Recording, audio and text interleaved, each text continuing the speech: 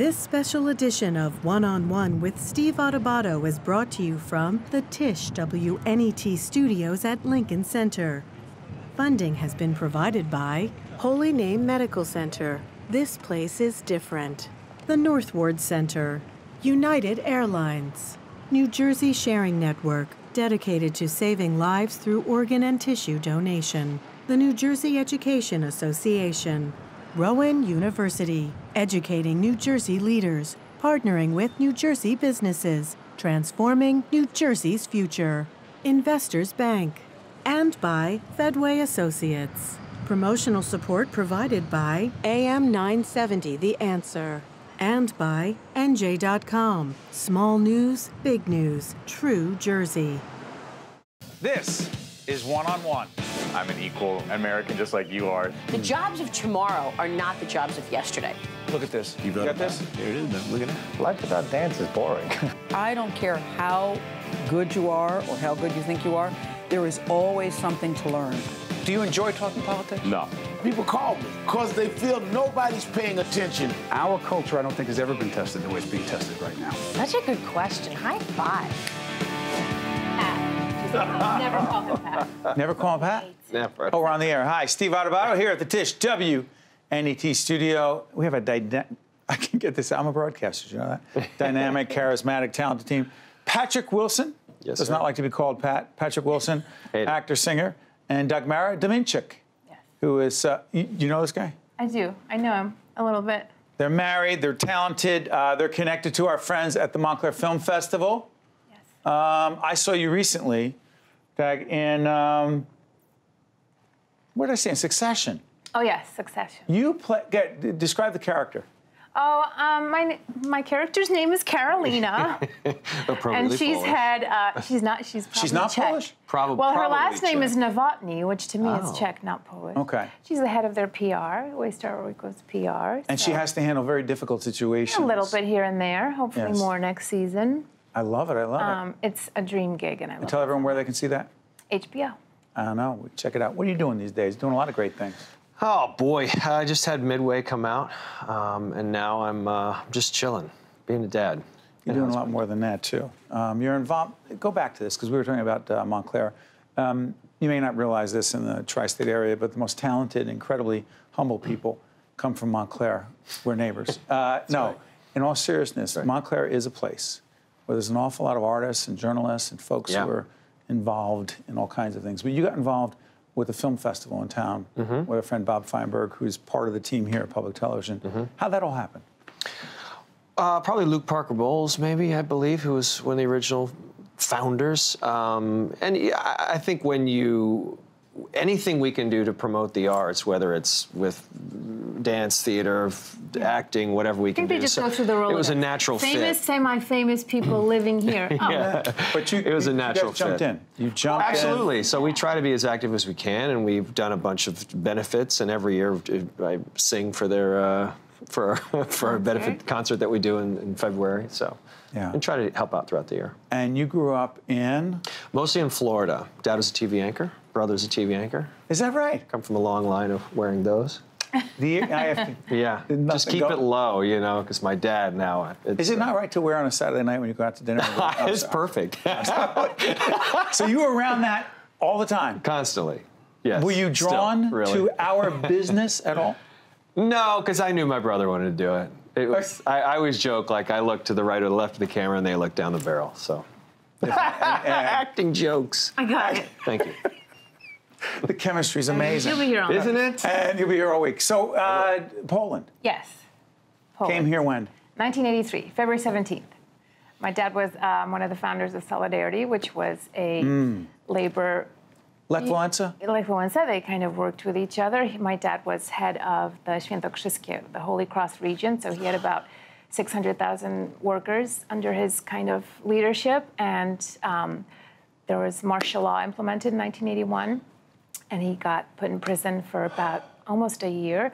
And then we were basically deported, given a few days to find some place that would take us in. The government then was realizing all these workers were really stirring the pot and they hmm. wanted to kind of get rid of them instead of keeping them in jail. And so a lot of people went willingly and a lot of people didn't really want to go. But you know, my dad had two young kids, and my mom implored him, and the AFL-CIO sponsored us, and we ended up in New York City.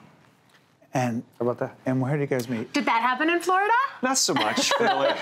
Basically, a middle upper class upbringing, totally normal. Yeah. So you That's guys meet. where we find the We went balance. to Carnegie that's Mellon. and. Oh, is that Yep, yes, we met in Carnegie Mellon. yep. And performed together? No, he was a Never. senior and I was a, a, a wee little freshman. yes, and then we re-met at an alumni. Ten years later, Ten years we later. re-met. Oh, I love it. Yeah. Patrick said we talked. uh, We had a conversation Yes. my freshman year We that did. I totally don't Did you remember? No. No, and I'm Same so thing glad my wife. do. It's terrible No, that she doesn't I remember. don't. And you What? remember? Of course I do. I was love it. dating Why my don't high they school remember? boyfriend. Is it us? It's them. Well, because literally everything else I forget, but I do remember very No, specifically you meeting don't. her. You don't forget everything. No. Oh, I love He's it. really good it. at remembering. But you have performed together.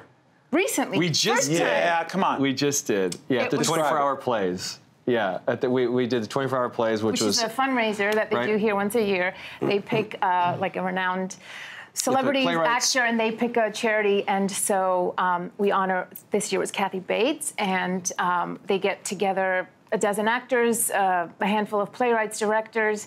We meet in a room at Sunday at 11 p.m. at night. We bring a prop from Right. our house. We talk a little about ourselves. The actors go home. Yep. The playwrights stay from 11 p.m. to 6 a.m. writing uh-huh. five brand new plays. and they perform in the And then we show up the next morning on Monday at 8 rehearsal a.m. day, perform the night. Yeah. So we did a play with David That's Harbour. And our uh, goal was just we, we stood up and said we have we've acted supposed to- together in two films, but, but barely stage. barely even shared a scene, and we would love to. Because you're supposed to say, "What have you never done on so what- stage that so you wanna basically, do?" we just ended up making Yeah. out for. Uh, well, I said Totally ad lib? what? no, no, no, no. You, you, No, like oh, you wrote it and you no, did no. it. The They write- playwrights. playwrights wrote right. Oh, the- yeah, yeah. They when get we meet the playwrights, they we go around in a circle, say, "Hi, I'm Dag, and I, something I've never done on stage is act with my husband, and here's a Rubik's cube I brought from my and house." the writers sit back and they say, "Okay, you guys." and then we go make a play home, together," and we don't know in the write a play. morning. They write.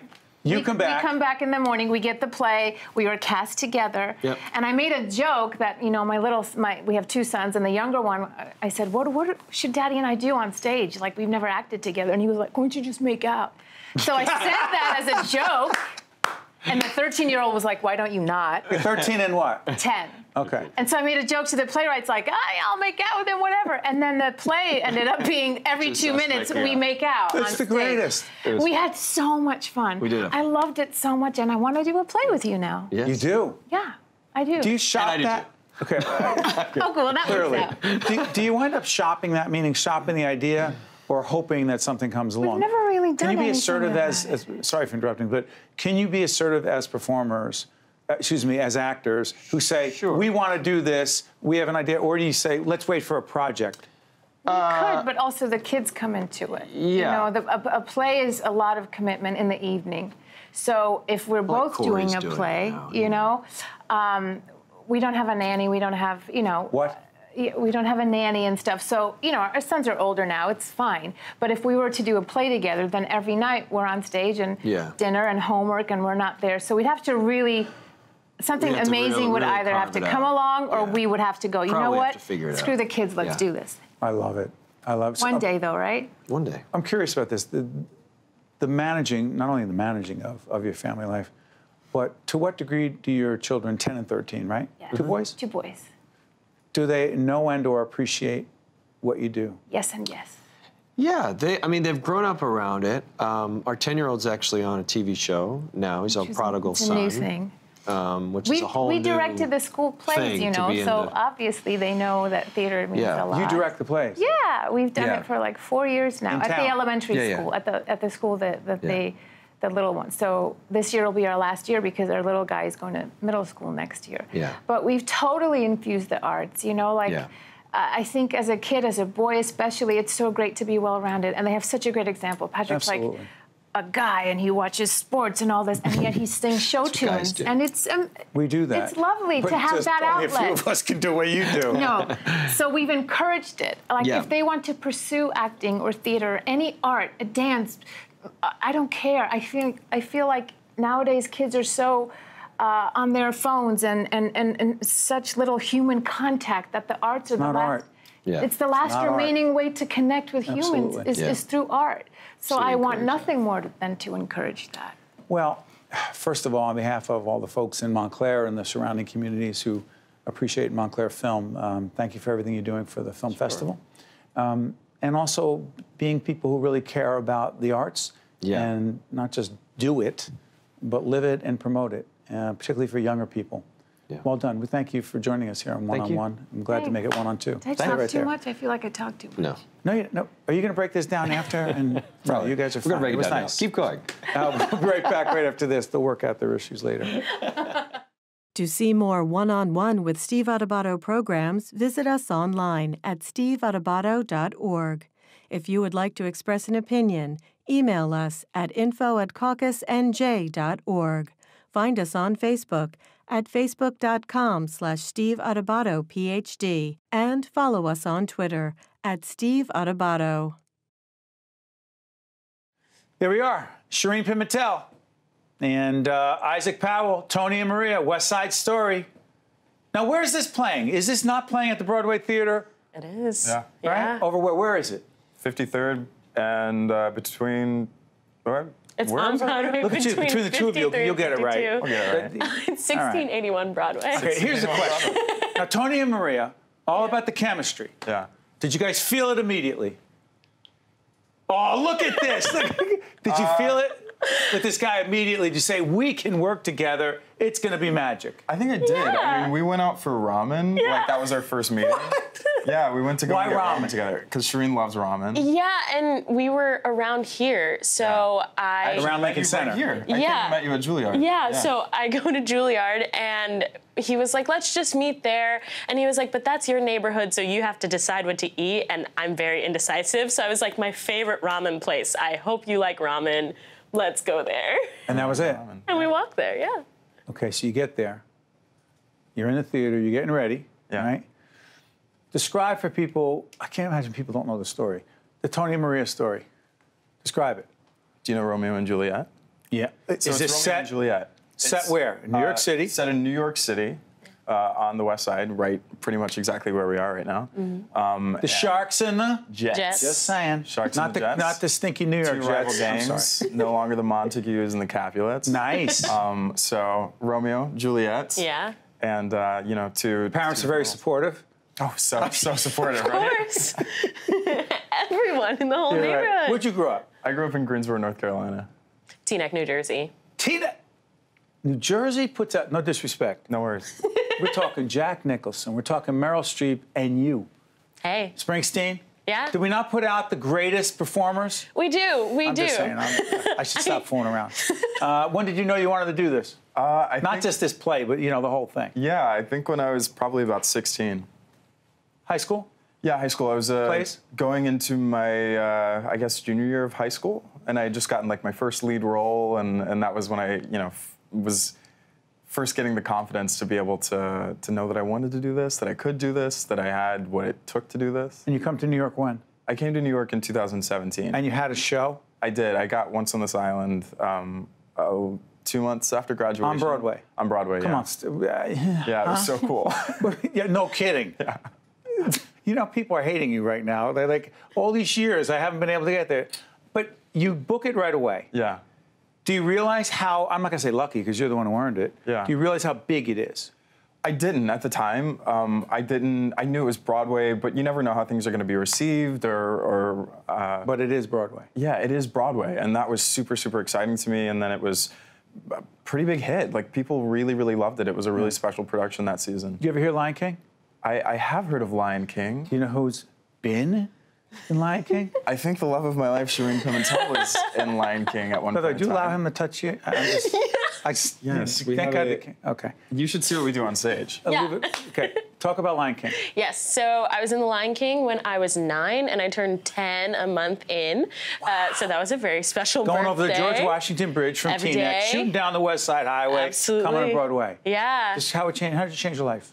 Uh, it was the turning point of why I wanted to do musical theater. Before that, I wanted to be a dancer, and that's all I wanted to do. And this showed me that I could sing, and that I could do Broadway, and I could do musicals. And I was in public school and kept doing the sixth grade while I was there. So it hold didn't. on, excuse me for interrupting. You weren't doing plays in school. No, I was in public school. I was like doing just school. Yeah, but did they know that you couldn't do the school play because Oh, yeah. Come on. By the way, you're Juilliard now. I just want to say Yeah. that right around the corner. So, so here's the thing. So you can't do the school play. Sorry, I'm doing Lion King. No. And you're probably a well-adjusted kid who's not all full of herself I tried. yeah. and had normal relationships. Uh, but uh, shift gears. It's a couple days away from previews. Yeah, 1st preview. Tell folks what that means, because we always hear, it. what does that mean? So we enter previews, which is a period where we're still rehearsing the piece. It's still changing day to day. Um, We're still making changes while there is an audience at night. So sort of based on um, the audience's response to it and what's working and what's not, uh, we make changes during the day. So it's a really, really busy time for the actors and everyone involved because we're constantly making changes and then we have to do the show at night. So it's a pretty busy period. It's really exciting though. And you open up the beginning of February. Yeah. Yes. Again, this will be seen before and after that. Yeah. Opening night. You've done, been there before. Yeah. You're shaking your head already. Yeah. What is it that you're looking for more than anything else, other than the cheers and the adulation and everything else? Is that it? I I think I'm just. It, it's gonna be different than previews, but I'm, I'm looking forward to doing it for that group of people. Whoever Uh, they are. Yeah, but I think it's also there's going to be so many families Exactly. in the Oh. room of the cast members of all 50 of us, and so many Broadway debuts this year of just people that that never have seen their their children or their friends be on such a large stage and such a thought of that. large scale Yeah. production. So, so I'm sorry for. Opening night, a disproportionate number of that audience connected to the cast and crew and team. Absolutely. I mean, it, it- more than Wow. any other uh, performance of the show, I think that'll be the biggest celebration because that's really for our friends and family and industry folks who want to be there and who are supportive and excited and dressed up to the nines and like ready to go on a journey with us. And that's the most exciting night, I think. Ha- have either one of you ever seen the original uh, West Side Story movie? I've seen the movie. Yes. Yes. How different is this from that? Um, about as different as it could possibly be. yeah. Really? Yeah. I think so, yeah. I mean, all the words are the same, all the songs, the music, untouched. It's, you know, it holds the integrity in that way. What's Um, different? What's different is we're in contemporary clothes. Um, I think some political themes ring a little more loudly now than they would have. It's um, political? It's West you Side say? Story. Yeah. Yeah. Yeah. Wow. I think I think the material lends itself to that. I think it was always does, yeah. it was always meant to be, and now it just it's so it's so poignant now. Thank you for joining us. Thank you. Thank you. And we wish you great success with uh, West Side Story. I gotta Thank turn you. my notes around, sorry. Uh, with Tony Marie and West Side Story, um, Shereen and Issac, wish you all the best over at Broadway Theater on 1681 Broadway. Yes, By the way, it's 90 minutes, there's no intermission, so take care of your business before Yes. and go see a great play. I look forward to seeing it. Thanks. Thank you. Thanks. This is one on one. This was one on two. Right back right after this. To see more one on one with Steve Adubato programs, visit us online at steveadubato.org. If you would like to express an opinion, email us at info at caucusnj.org.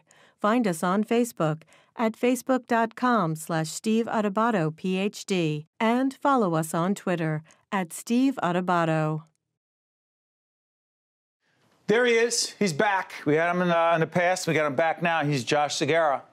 He uh, is involved with a Netflix 10 episode dramedy. It is called AJ and the Queen. How you doing? Good, Steve. It's good to see you, man. It's good to be here. Uh, set up this AJ and the Queen thing for us. What is it? Uh, RuPaul, you might know him. Yeah. He plays, uh, he plays a The drag queen. Yeah, come on, the. Uh, he plays a drag queen named Ruby Red, um, who is trying to get back some money that was stolen by me, uh, his boyfriend turned uh, grifter, you know, uh, and my partner in crime, Tia Carrere, plays Lady Danger. Well, he's on the run and uh, finds a stowaway in his trailer who's uh, played by a beautiful little girl named Izzy G. Um, and then uh, hilarity ensues. He's going across the country to make back that money, so he's stopping at uh, some bars along the way, some clubs along the way to uh, open up his own club in Queens called Queens and Queens. I love it. What's he? What's RuPaul like? He's incredible, man. He's incredible. Truthfully, like, you know, on that job, I just wanted to do a good job. you know, when I when I met Michael Patrick King, who's a legend, you know, um, I, I always remember the day I met him. I, I don't think I've ever told him this. I, I remember the day I met him at that at that callback, and I felt like he was shimmering. You know, he just looked like that. Just remind folks that Michael, Michael Patrick King, I mean, that little know, thing called Sex in the City. Sex in the City, that little thing, you know, the comeback, two broke girls. Oh. That's MPK right there. That's the man. So when I meet him, you know, that was the first time meeting a legend. So, okay, they bring it on, and now, all right, now I'm gonna meet Ru, you know, and that first day he just came in, and man, when he just he made me feel like we'd been buddies forever. You know, he came in and we hugged, we embraced, and. Um, and the rest was history, man. Watching him, watching him captivate a room is always impressive. I'll tell you that. Just because he's always coming in a nice suit, man. Always looking sharp, that guy. Not, but not intimidating. No, no, not intimidating. Generous, you know, you know, sorry for interrupting. Please. The word generous gets used a lot. Yeah. Is he yeah. generous? Super generous, and and and and I, I hope that doesn't sound, um, yeah, cliche. But it's one of those things where, when he walks into a room, of course you know room man. You know, look how hard he's worked. Look at look at how much he's grinded to get to where he's at, and look at the this this. Uh, yeah, he, he hate me for saying empire, but come on, man, look at what he's doing. He's everywhere right now, and and, and that's be, and, and that's because he's grinding. He's up every day at four in the morning, and that's because he's he's kind and he's generous. And and and he walks into a room. It's it's ah, come on, y'all, no pretense here. Let's have some fun, you know. Let's I grind. Let's do some good work. So having him and Michael really caring about this project along the way took a lot of pressure off me because I knew that I didn't have to worry about, you know, trying to become their best friend. I knew that they brought me there to do my job as best as I can do, and a man, I just, uh, I'm really proud of that uh, of AJ, uh, of AJ and the Queen. I'm really, uh, I'm really excited for everybody to see it, and uh, I think, uh, I, I think we made something pretty special. What's the other two? Oh man, the other two is a, a show I did uh, that we're going to go back into the second season on Comedy Central. Uh, uh, the uh, head writers, creators of that is Chris Kelly and Sarah Schneider. They were the head writers of SNL for many years. They worked over there. Those, so they're incredible. Uh, but it's uh, it's about a a, a great uh, it's a great story about a kid who becomes super famous uh, after a uh, viral video. Um, becomes a viral video about uh, him singing a song called "I Want to Marry You at Recess." Can we take a look at a And, clip? Yeah, of course. Let's take a look at the clip. Yeah, Talk check it about out. Chase dreams. Chase dreams. So, mom, does this kind of talent run in the family? You have other kids, right? Um. Brooke, what are you doing? I'm being classic Brooke. What else is classic Brooke? She's hot. She's cool. Yes. She has always got deodorant on the outside of her clothing. No, no, no, no. I don't know. I I want to stop. What a cast! How much fun? A lot of fun. That's my that's my homie right there, Heléne Yorke, that I'm playing opposite of. We play Lance and Brooke. She's uh, she's my cook Brooke on there, or my Brookie monster. I love it. And uh, she's the best, man. She's she's an incredible partner. We had a lot of fun, and uh, Drew Tarver, who plays her brother, uh, they have a great relationship. That I think they're best buds. I know they're best buds. And the kid that plays uh, Chase Dreams, Case Walker, I love that boy. Did I see Wanda Sykes or no? Am I wrong? Oh yeah, that? you saw I just Wanda said, Is that Wanda Sykes? Oh yeah, you did. You saw. You're gonna see Molly Shannon. You're gonna see Ken Marino, Wanda Sykes. Like those. The Molly Shannon. Come on, the Molly Are Shannon. you talking about for back? You're too young. But back in the day, Molly Shannon. She's a Catholic school girl. What's oh, her name? Come on. Uh, oh my Who- gosh. Come on. Mary Catherine. Thank you, Mary Did you- Catherine Gallagher. Did Come you on. just sniff your fingers? Come on. you know, come on. You are an aficionado. Come on, man. I, love grew it. up watching. I grew up watching best of SNL tapes. VHS is on repeat.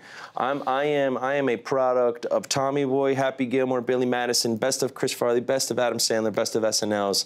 Anywhere from you know 92 to 98. Those VHSs are burnt out of my house, man. So.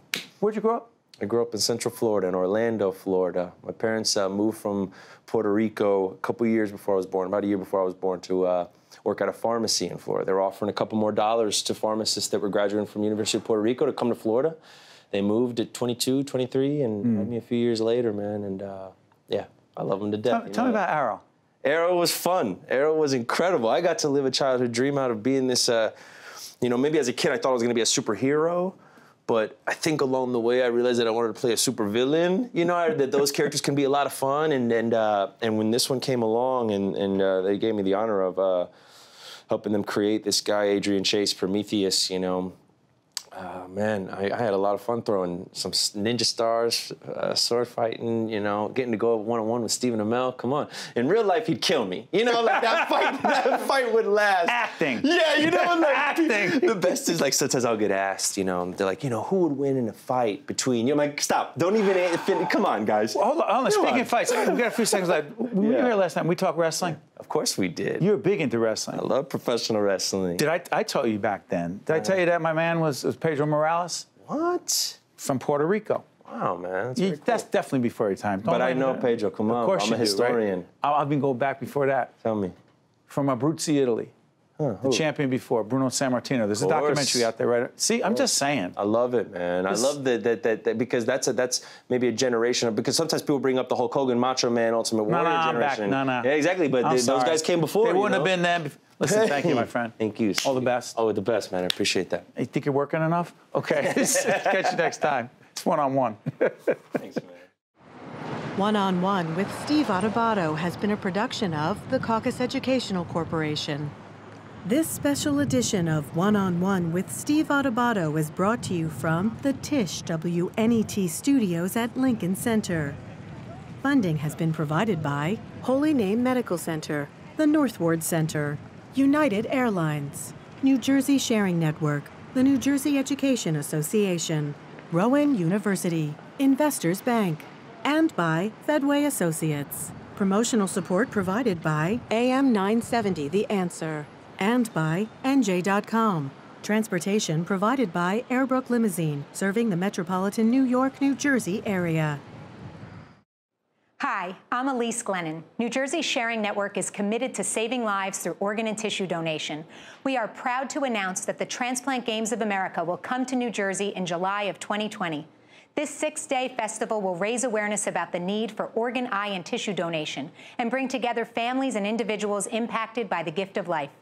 To find out more about how you can be a competitor, a volunteer, or a corporate partner, visit njsharingnetwork.org. Let the games begin.